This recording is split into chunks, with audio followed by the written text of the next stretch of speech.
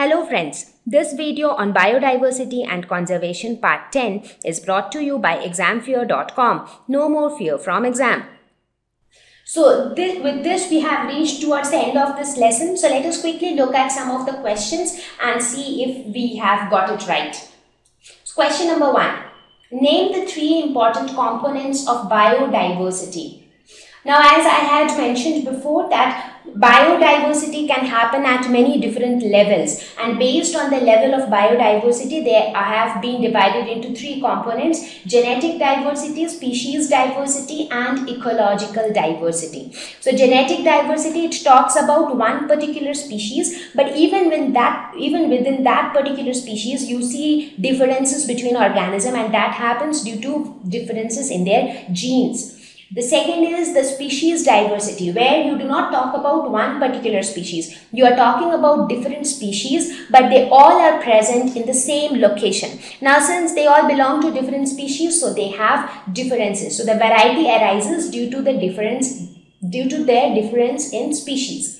And the third level is ecological diversity, which happens at an ecosystem level. That means now we are not talking about the particular location. It is not about the same location. So it is like different, different ecosystems. So some areas will be rich in uh, the, the number, they will have more variety of ecosystems. Some area will have lesser variety of ecosystems. So at an ecosystem level, we talk of ecological diversity. So these are the three components of biodiversity.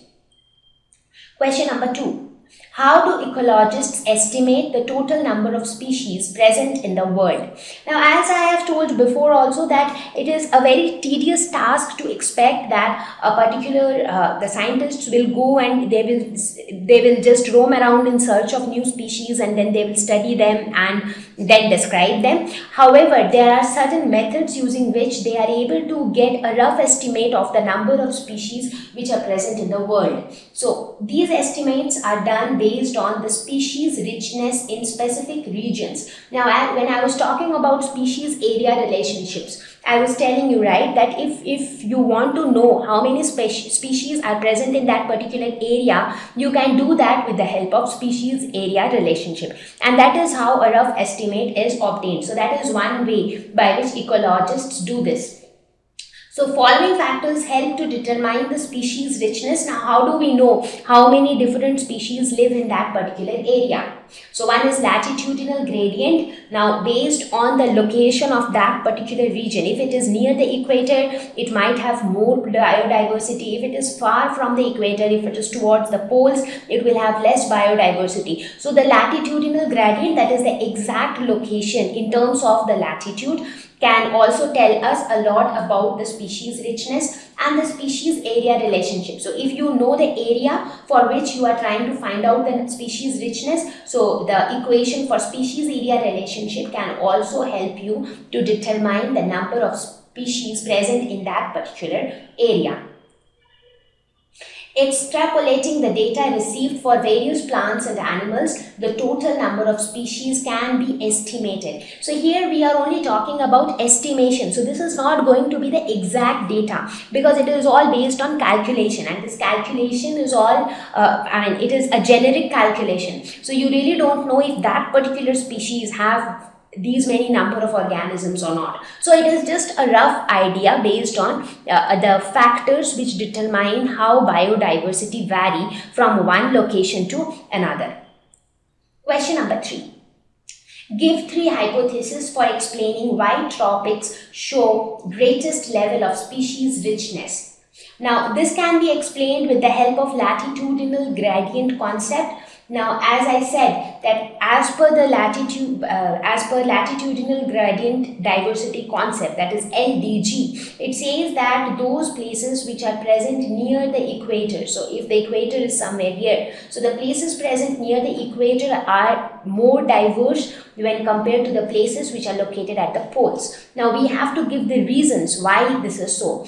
So one reason is the tropical latitudes remain undisturbed for years. So these are the tropical latitudes. So the areas or the latitudes which are present near the equator, they are tropical latitudes, whereas the latitudes which are present near the poles are the polar latitude or temperate latitudes. So these latitudes, they have not experienced much of disturbances, whereas the polar areas, they keep on experiencing very frequent glaciations because of which the entire species uh, get destroyed. So that is one reason why tropical latitudes have more variety of living organisms suitable environment. So the climatic changes in the near in the polar areas are uh, unpredictable and they keep changing very frequently. So they are not very suitable for a niche. So the organisms cannot adapt to such frequently changing environment and they uh, do not survive there. Whereas in case of the tropical areas they have suitable environment they do they are quite predictable climates do not change very frequently. So these are some of the reasons why the environment is suitable for the survival of animals availability of more solar energy. So solar energy is something which is required for the sustenance of living organisms and uh, due to the location so the equator receives more of solar energy and due to the presence of more solar energy the productivity of living organisms uh, is more and therefore they they are able to survive here better. So these are some of the hypotheses which explains why the concept of latitudinal diversity gradient exists. Question number 4. What is the significance of the slope of regression in a species area relationship? So let us quickly see what is species area relationship. This one's now relationship that is log S is equal to log C plus Z log A. Now if you remember the exact relation was S is equal to C a to the power z. So the relationship stated that the species richness S is directly proportional to the area A. So when you take log on both sides, you arrive at this equation. So in this equation, which is the slope, now this equation is of the form y is equal to mx plus c. So here y is log s, x is log a. So what is m? M is the slope. So what is slope? Slope in this case is z. So z denotes the slope. Now the question is what is the significance of slope? Now what what does a steeper slope or a less steeper slope tells us? What does it indicate?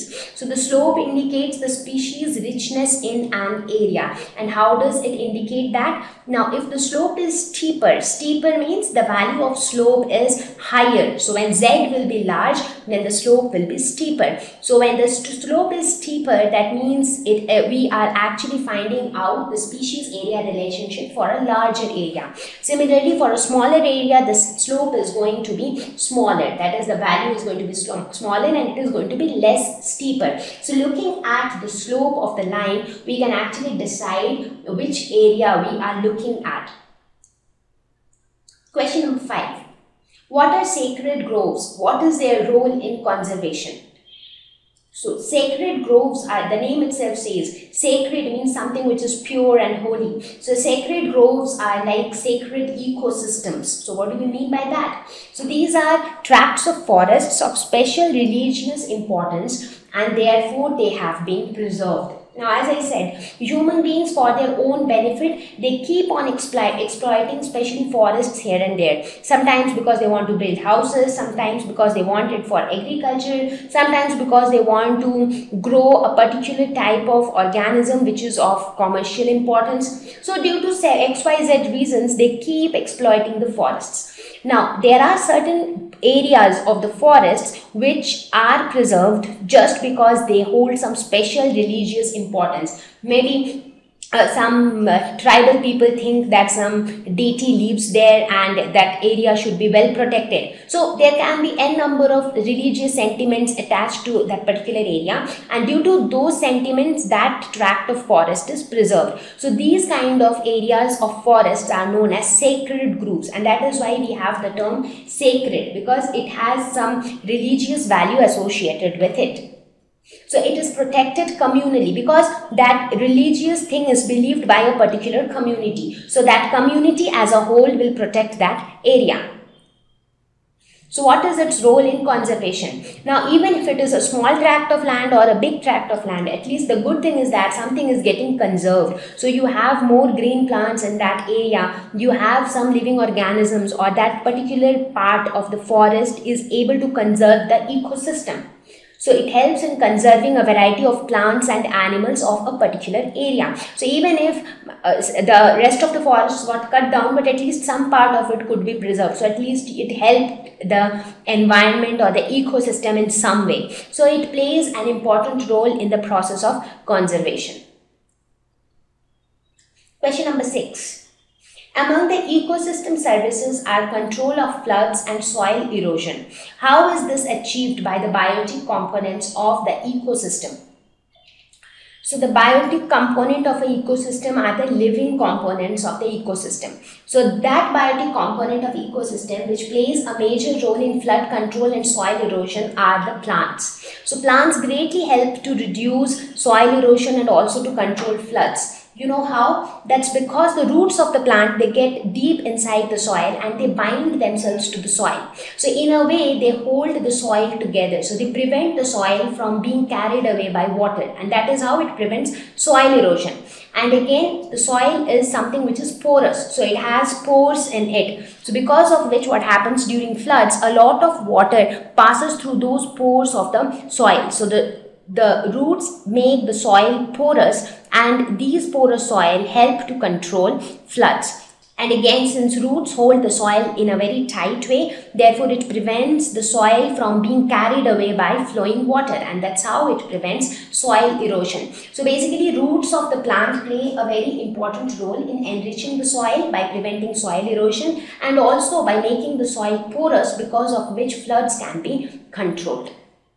So with this, we have reached towards the end of this lesson conservation of biodiversity and I hope this lesson would have helped you. So see you all in the next lesson. Thank you. Please visit www.examfear.com to watch more educational videos with a better experience. Please do not forget to like and subscribe to our YouTube channel for latest updates. Thank you once again.